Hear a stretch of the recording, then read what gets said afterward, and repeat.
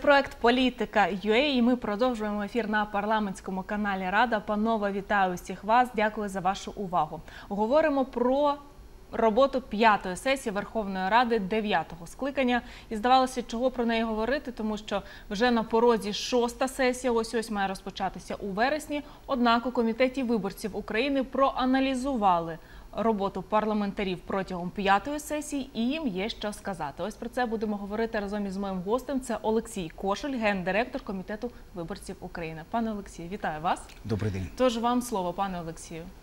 Яка оцінка ваша так в Верховній Раді? Парламент працює сесійно, і перша сесія тривала фактично від початку 2011 року до липня місяця. 2000... Е, 2021 Ага. року до липня місяця. От ми маємо можливість підвести підсумки цьому періоду.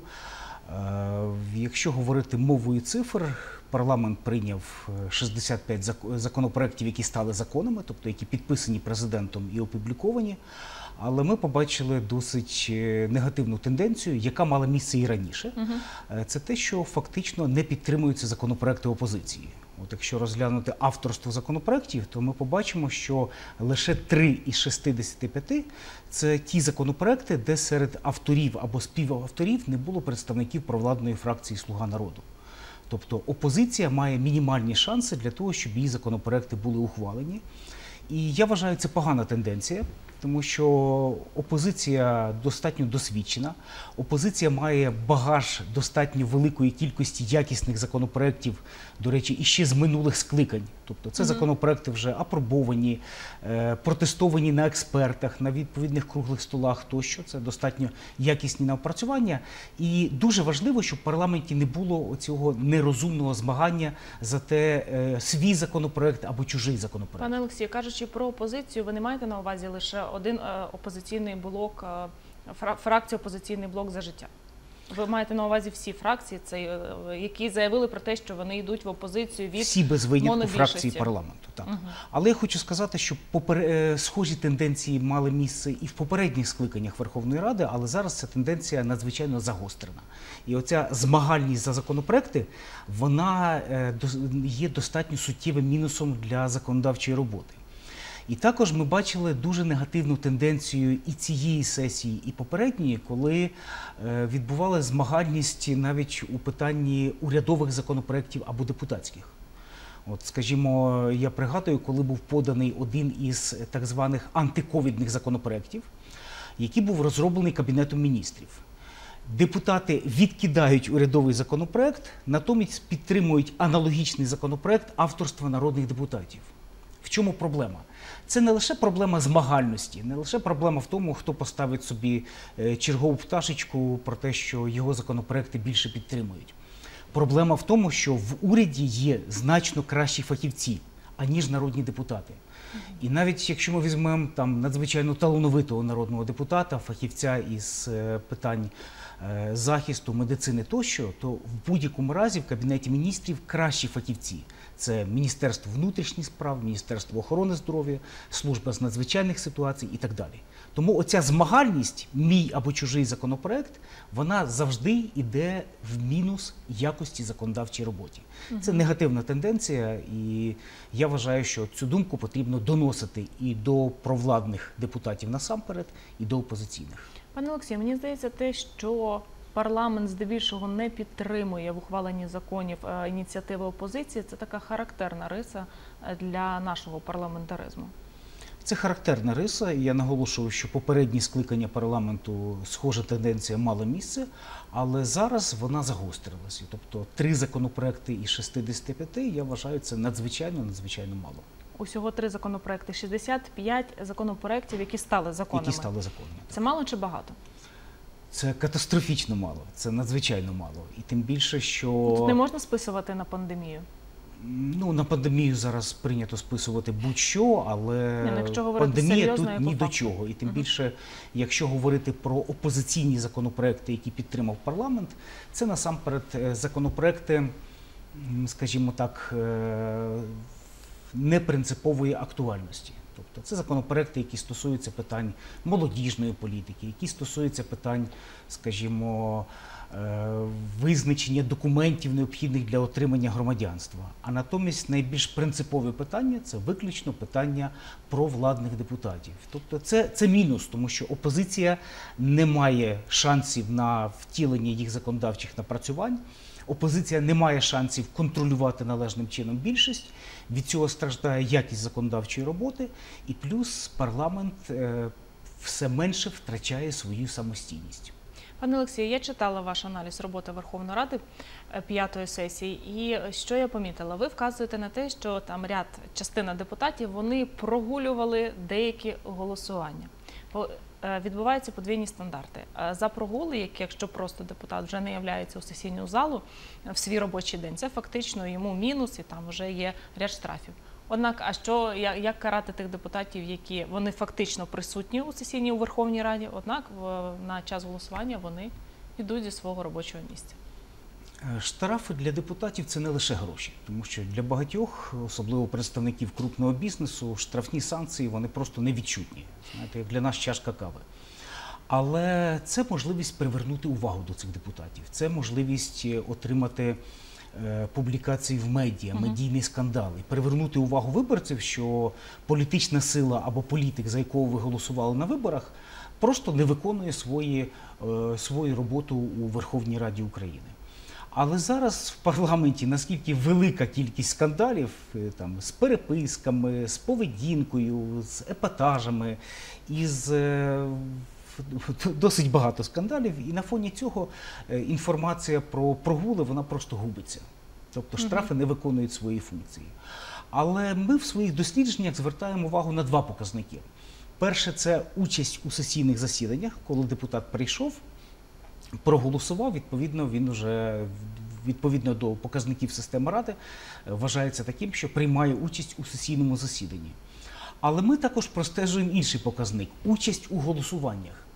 І є досить е, багато показників, коли, скажімо, в депутата 80-90% це його участь у засіданнях, натомість голосування може бути показник 20, 30, 40%. Мгм. Тобто народний депутат, працюючи в сесійній залі, просто часто не виконує свої обов'язки або, скажімо, вирішує інші питання. Пане Олексію, останнє питання з нашого цього блоку. От ви проводите відповідні аналізи. До чого вони призводять? Для чого вони необхідні? Вони якось потім а, куди вони йдуть?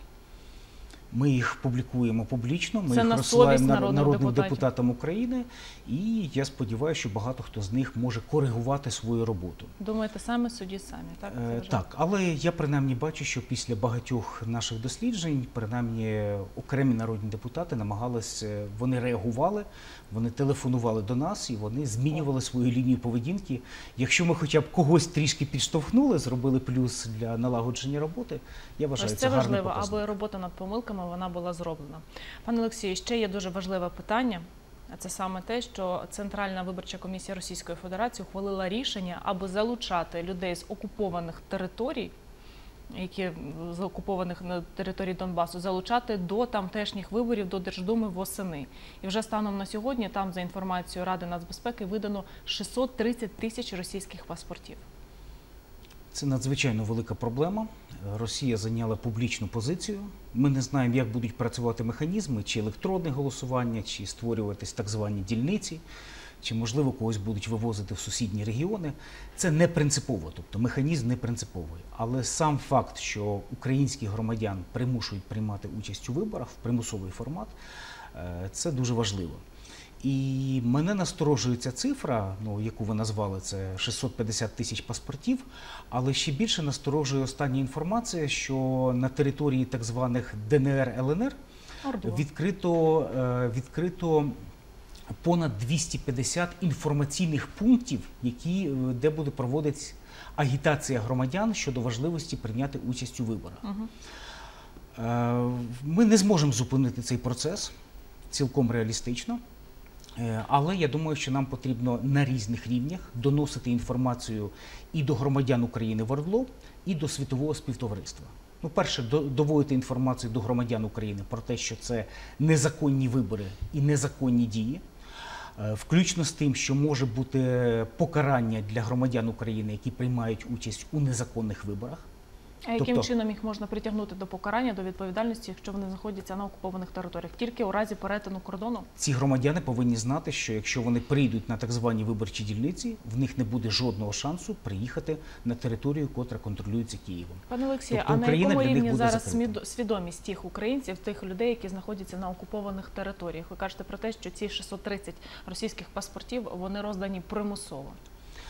Невже Е, настільки примусово їх змушують людей брати ті Для когось примусово, для когось не примусово. Ну, принаймні, я думаю, що факт примусу має місце і достатньо масштабний, тому Ну, що так, ті громадяни, які працюють в системі освіти, в системі медицини, е, в органах місцевого самоврядування тощо, вони перебувають під жорстким тиском. Але я не виключаю, що є достатньо велика категорія громадян, яка дивиться з позиції вигоди, тобто мати другий паспорт, можливість їздити вільно в Росію, можливість працевлаштовуватись в Росії, тощо Е, цей факт грає для них роль. Що ілюзія ця не зникла. Однак, пане Олексію, що робити нашій стороні? І дивіться, нам часто Україні дорікають з боку і міжнародної спільноти, так е, світової, про те, що ми недостатньо робимо, ми недостатньо висуваємо свої умови задля подолання взагалі цього конфлікту на сході України. А коли Росія робить, то зброєю бряцька, то роздає свої паспорти, на них ніякої управи немає. Держава повинна реагувати на всіх рівнях максимально, але зараз я вважаю, що має бути невідкладно прийнята відповідна заява звернення до світового співтовариства з боку українського парламенту. Тобто ми отримали ноту з боку Міністерства закордонних справ, але ми повинні використовувати всі можливості. І заява з боку парламенту має бути прийнята не за тиждень до проведення так званих виборів, і тим більше не постфактум, а має бути прийнята заздалегідь. От я вважаю, що цією заявою має розпочатись шоста сесія українського парламенту. Для чого це робиться? Для того, щоб донести інформацію до парламентів, урядів інших країн, для того, щоб отримати їхню підтримку, для того, щоб підготувати базу щодо невизнання виборів до Російської Государственної думи. Це надзвичайно важливо. І для цього повинні використовуватись рі- різні важелі. Ну, до прикладу, ми будемо підіймати цю тему на рівні міжнародних організацій, на рівні ОБСЄ під час щорічної конференції ОБСЄ. Там інші організації на інших рівнях, але має бути заява з боку українського парламенту, і вона має бути прийнята заздалегідь.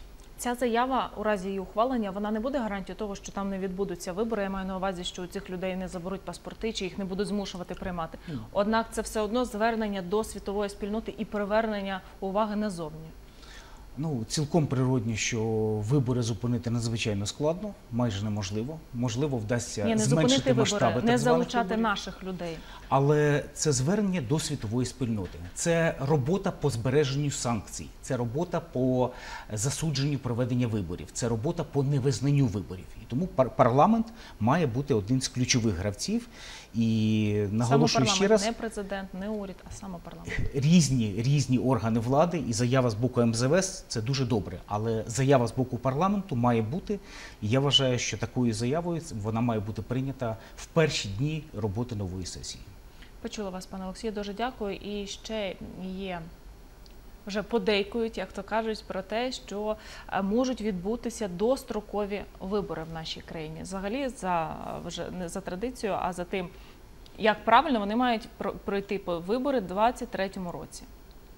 Правильно? Не в 23-му, в 24-му. Ви знаєте, розмову про дострокові вибори я нещодавно знайшов, е, читав матеріал про журналістські розслідування про е, парламентські вибори і побачив заяву олігарха Ігоря Коломойського, який за кілька тижнів після виборів сказав, що парламент приречений, і ми вже годинник ввімкнувся, і ми починаємо відлік до, до строк- позачергових виборів. Е, Тому е, е, завжди розмови про позачергові вибори мали місце. Цей парламент не виняток, але підстав для виборів я не бачу. Ну так, у нас є парламентська монобільшість, яка де-факто не має 226 голосів. Але якщо порівняти, скажімо, взяти показники 2020 року, монобільшість е, давала за законопроекти, які ставали законами, близько 205 голосів. Зараз дає 211 голосів. Тобто навіть покращило, знайшлись важелі впливу на монобільшість. Але ну при тому, що не дає 226 голосів, але в нас є стабільна монобільшість е, в форматі, умовна монобільшість в форматі е, партії Слуга народу і депутатської групи Довіра і частково депутатської групи за майбутнє. От ці три групи і фракції дають сумарно майже гарантовано 226 голосів. Тому з позиції влади зараз проводити роботу щодо позачергових виборів я не бачу жодного сенсу. Парламент е, підтримує законопроекти президента, слухняно підтримує законопроекти. Союзники допомагають отримати 226 голосів. А в раді в разі позачергових виборів, ну ми чудово розуміємо, що 50% пропрезидентська фракція в жодному разі не отримає. Якщо отримає половину цього результату, це буде просто феноменальний показник. І тому для глави держави зараз проведення позачергових виборів невигідно. Для парламентської монобільшості також невигідно. І тому ймовірність парламентських виборів я оцінюю просто як мінімальну. Е, Втім, я не виключаю, що може бути реалізований сценарій е, позачергових президентських виборів. І для цього, власне, може бути значно простіше їх організувати з юридичного боку, і з політтехнологічного боку це також може бути вигідним для глави держави. Ох, навіть так, пане Олексію, ну будемо тоді слідкувати за вашими прогнозами. Подивимось. Дуже вам дякую. Олексій Кошель, гендиректор комітету виборців України, був з нами. Вам, друзі, як завжди, дякую за вашу увагу. Залишайтеся з нами, аби бути у курсі політичного життя держави. Побачимось.